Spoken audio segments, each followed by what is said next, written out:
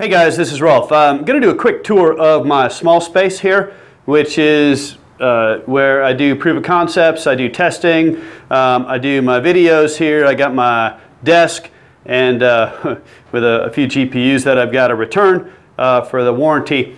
Um, Grant here, my son, uh, he helps me out, and uh, he's got our dog Levi here uh, hanging out as well. So there's we've got a, this is a nice area because we can uh, build our computers, we can clean things out, and we've got uh, other things that we do to uh, test and we, we, mess around with solar panels and drones and things like that.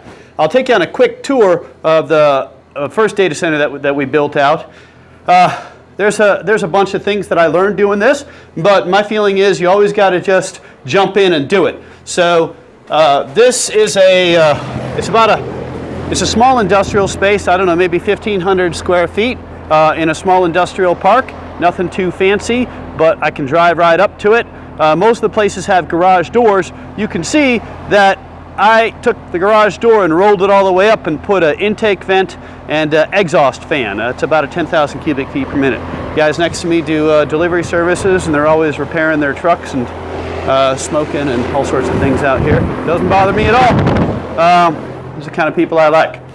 Uh, so let me take you in here to our, our, data center. Oh, I'll show you quickly here my network, my fancy network. I got Comcast cable. I tried to bring in a second one from AT&T, but the building wouldn't support it. So I got a backup uh, connection to the internet. It's uh, actually a, uh, a modem, uh, a cell phone modem. It works great. Actually, when Comcast goes down, uh, the firewall flips it over to the cell phone modem and everything keeps hashing. The, um, I was going to just do mining in this space, uh, but the neighbors next door complained about the noise. So I built out a little room to block it off. It also uh, keeps the main part of this room comfortable, so we can do a lot of work here. Um, so I'll take you through this. This is a little bit noisy, and then I'll explain kind of what's going on. So uh, here is uh, a rack of Antminers. I think I've got 18. Um, uh, they're Antminer S9s of various speeds and frequencies. And then I've got the different GPU miners that I went through and built. Uh, these are the open rack miners. I built them out of wood. And then finally I decided, hey, I'm just going to buy these metal frames. They work out a bit better. I got an Innosilicon Litecoin miner here, which is okay. Um, I've got an X11 miner and a, a Baikal Giant. I really like that. Um, and here's my uh, exhaust fan, uh, pretty straightforward. And uh, I built a uh, panel to keep the air going through the equipment. Um, so any of the hot air that gets uh, created in here gets exhausted out. The uh, power, I brought six 30 amp circuits at 240 volts AC onto the wall. Um, it would be better to bring him in right above the, the connection. I've got multiple Ethernet connections running back to my network, and then you can see I've got a uh, I've got the intake here, and uh, the vent size does about 10,000 cubic feet per minute, so it matches. The fan takes a negative suction on the room and uh, exhausts the air. Of course, the problem is there's no filtering. So a lot of the stuff gets into the Antminers and I've got to blow those out with an air compressor uh, periodically. So at uh, the new site, we've got uh, two large intake fans that are filtered. I also started out with these expensive power distribution units that are network connected or remotely controlled and show me the amps. That's overkill. You don't need to spend $600 on a PDU. Uh, just uh, the inexpensive ones are fine. So that's uh, this is where I learned a lot of different things. I still run it. Uh, I signed a three-year lease on this building, but I also like being here.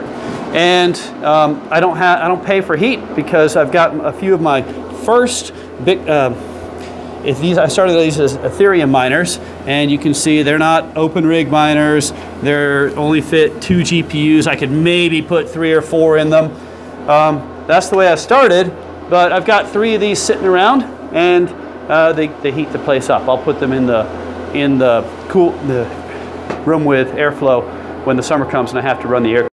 So anyway, to, to finish up, this is how I uh, started out. I, I, learned a lot of things. I'm, uh, of course, that's the way you do things. You, you, you just start and you do it and you learn what you did right and you learn what you did wrong and then you apply those lessons uh, to, the, to the next larger thing. And that's why I give the advice of start small. Start with a, a couple miners or two. Make sure you can figure out what you're doing and how it works. Uh, and then if you can control your costs, it'd be wonderful. I have to pay for rent at this space. Um, if I had a, you know, a, a place that if I owned a, a, different business and I had maybe a corner of that business where I could um, just put the miners and things like that and not have to pay additional rent, that'd be awesome. But the, the rent here is not that, that much. And I, the space is in the middle of the building, so I can't upgrade the electricity here without paying a lot of money. So I'm limited to 200 amps, and actually when I go above about 160, 170 amps, the main breaker outside trips. So I have to find how to run things as efficiently as I can. Uh, I took all these lessons, and then I'll show you a video of the next site that um, we're, we're bringing up and is already up and running. And that is a larger space. It's on the end of the building. It's near where we could bring a big uh, power supply in. And um, we applied a lot, a lot of the lessons that I learned here to that next bigger site. Have a great day.